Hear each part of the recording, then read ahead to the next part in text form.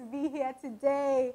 This is Harvesters International Christian Center, and I want to specially welcome you to our online kids service. Yay! Okay, I'm so happy that you could join us today, and I promise you we're going to have a great time. If you're joining us for the first time, this is for you. Hey! Welcome, welcome, welcome. So I want you to go and ask mommy or daddy to text new to the number on the screen. Yes? Text new to the number on the screen. And you just might be the lucky winner of a gift from us today. Yes, don't you want that? I know you do. Okay, so before we go on, we have three things we need to do. I'm sure you already know what they are, so we're going to say together. In three, two, one, go. Number one, I need you to go and call your brothers and your sisters if they're not already here. Number two, I need you to go and tell mommy and daddy to call your cousins and your friends so they can join us online. And number three, I need you to get your Bible and your reading materials if you don't already have them, okay? Are you going to do that? Very good. So I'm going to give you some time to do it, and we'll be right back.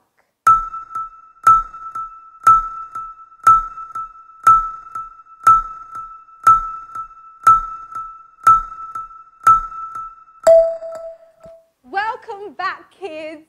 So it's time for us to recite our memory verse. Are you ready? Are you sure? Can I hear you say yes? Let's do this. Okay.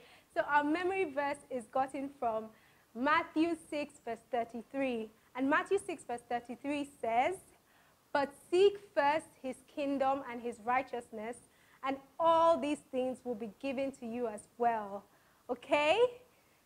Now I'm going to say it, and you're going to repeat after me. But seek first his kingdom and his righteousness, and all these things will be given to you as well. Great job, kids. That's so good. Now we're going to make it even more exciting by adding some motions. So look closely because we're going to do it together, okay? So Matthew 6, verse 33 says, But seek first his kingdom and his righteousness, and all these things will be given to you as well. Did we get that? I'll do it again.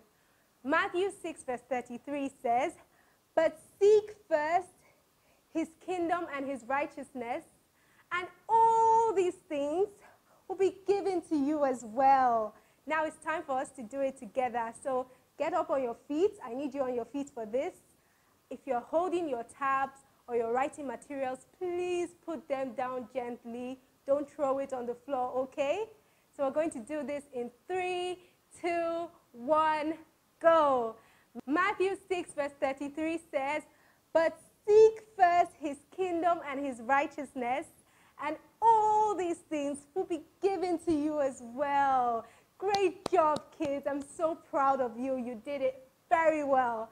Okay, so before you sit down, it's not time to sit down, okay? We need to say a prayer. So I need you to take a good prayer posture that you're comfortable with. I need you to close your eyes, no peeking, close it. Close your eyes and repeat these words after me, okay? Father, we are thankful to be your children.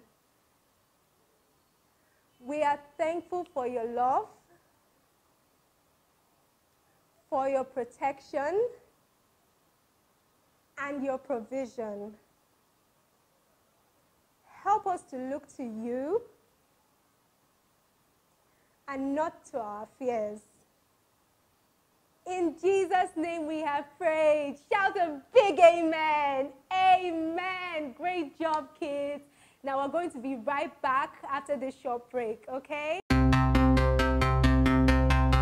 No, I won't be afraid. Hello, kids!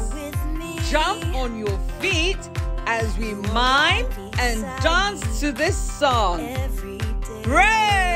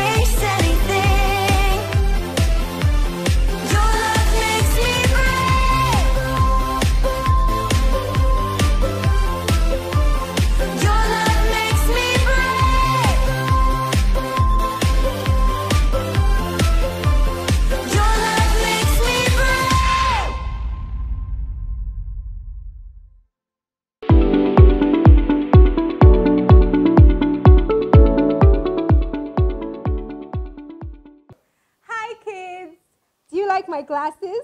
Well, I wear these glasses to protect my eyes from dust and from UV rays from the sun. The fun part about it is I get to see images in different shades of colors. Doesn't that sound cool? And do you know something else that sounds even cooler? Hmm? Our brand new series starting from today is called Goggle! You heard me. I said Goggle!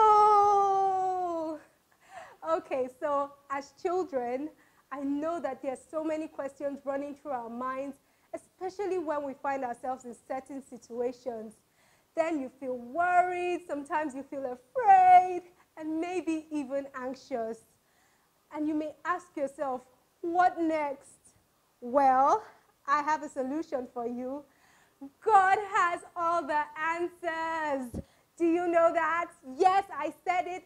God has all the answers to all your worries and problems. Anytime you're faced with any challenge, I want you to seek God's word so that you can see things differently you can do what is right, and you can overcome. Yes, kids, goggle through reading the Bible and spending time with God in prayer, okay?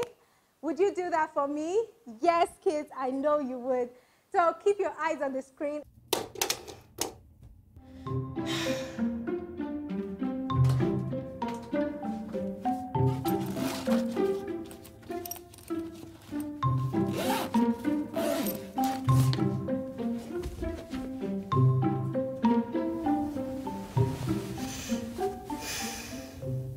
Night, son. Love you. Good night, Dad. Hey, Dad. Yeah, bud. Maybe we could play catch sometime. Yeah, we should play catch sometime. Good night. Good night. Hey, Dad. Yes, son. We should go to a football game sometime. Yeah, we can go to a football game, but not tonight. You got school tomorrow. Good night. Good night. Hey, Dad. Yes. Remember that time we went to the pool? We should do that again sometime. Yeah, I remember the time we went to the pool. But again, son, you have school tomorrow. It's time to go to sleep. Good night. Love you. Hey, Dad. Oh boy. What's up? You know what we've never done before? We should go to Disney World. Disney World? Yeah, I would love to go to Disney World. But son, what's going on? Are you okay? Yeah. No. No. Tell me what's going on. Just a little nervous. Nervous? What are you nervous about? I mean, what if the kids don't like me? What if I'm not able to make any friends? Now, come on. You know you're excellent at making friends. Everybody's gonna love you. New people, you're great with new people. What's really going on? It's just all the new people, new classes, new teachers. Just seems like a lot. You're right, it is a lot. It's a lot to do something new and to go into a new place and, and meet new people. And it's normal to have fears or anxiety and, and be worried. But you know what we can do when we get in those situations? What? We can pray. All we have to do is go to the Lord. It says in the Bible that the Lord casts out all fears. We just have to go to Him. There's actually a really cool story in the Bible about a great king that was scared and nervous and had fears and anxieties just like you. You want to hear about it? Yeah, that'd be cool. Okay, well, it all starts in the land of Judah. While a great king is ruling, his name is Jehoshaphat. He was a good king and strengthened Judah and did what was right in the eyes of God. While he was a king and a great leader, and just like any of us, he still had days in his life where he faced fear, worry, and anxiety. He loved God and obeyed his commandments, and God was with him. Yet every once in a while, he would still get afraid. One day, messengers came to him with terrible news. The concerned messengers stood before the king and told him, Armies from three kingdoms have joined together and declared war on you. This made him very afraid. King Jehoshaphat was terrified, and instead of nervously running from the problem, he went straight to God. He begged and asked God for guidance. He immediately called the entire nation together and told everyone to start praying and fasting. Overcome with fear, the people of all the towns of Judah gathered together in Jerusalem, seeking God's help. Jehoshaphat stood before the crowd at the Lord's temple and asked God, O Lord, God of our ancestors, you are powerful and mighty.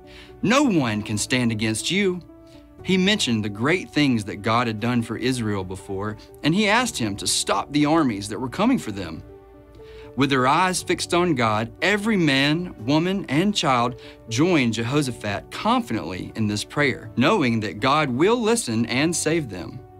Suddenly, the Spirit of God came upon a man named Jehaziel. He was standing in the midst of the crowd and boldly spoke, Listen, all you people of Judah and Jerusalem, listen, King Jehoshaphat. This is what the Lord says to you Do not be afraid or discouraged, for the battle is not yours, but God's. He told them that tomorrow he would march out against the armies, but they would not need to fight, for God would be with them. Then King Jehoshaphat got on his knees and started worshiping God. Everyone followed the king's example and did the same thing as they were reminded that God had not gone anywhere. He was with them all along. There was no reason to be worried, and God would save them by his unfailing love. Early the next morning, King Jehoshaphat and the army of Judah marched out to fight the surrounding enemy. The king encouraged his people, saying, Listen to me, believe in the Lord your God, and you will be able to stand firm. But along the way, the king did something quite unexpected. He sent singers to lead his army, and they praised God, singing, Give thanks to the Lord, his faithful love endures forever. At that very moment, as God heard the songs of praise, he caused the enemy from the other kingdoms to start fighting against each other.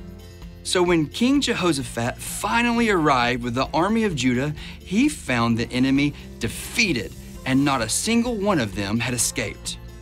King Jehoshaphat led a joyful parade of singers and soldiers back into Jerusalem as they praised and thanked God who had given them victory. In the most difficult of times, when the king did not know what to do, God demonstrated his unfailing love to Jehoshaphat. In that very moment, he learned that God's love is always with us and conquers every fear, doubt, and worry. So you see, son, just like Jehoshaphat took all of his fears and his worries and his anxious thoughts to the Lord, we can do the exact same thing. We just have to give it to Jesus. Do you know how we give stuff to Jesus? How? We just pray a little simple prayer. It's just like me and you talking. You talk to Jesus. Do you want to do that? Yeah. All right, go ahead, bow your head, and just repeat after me this really simple prayer. Okay. Dear Lord, Dear Lord, I love you. I love you. I am scared of my new day tomorrow. I'm scared of my new day tomorrow. I'm scared of making new friends. I'm scared of making new friends. I'm scared of new teachers. I'm scared of new teachers. I'm scared of a new place. I'm scared of a new place. Lord, I give it all to you. Lord, I give it all to you. Please take my worries, Please take my worries, my fears, my fears, and my anxious thoughts, and my anxious thoughts, and be with me on my first day of school. and be with me on my first day of school. In Jesus' name, In Jesus' name, amen. amen. Super easy, wasn't it? Mm-hmm. Yeah, and do you feel better? Yeah. So do I, because I know you're going to have the best day ever and that the Lord's going to be with you all day tomorrow on your first day of school. Now it's time for you to go to sleep. Good night. I love you. Good night.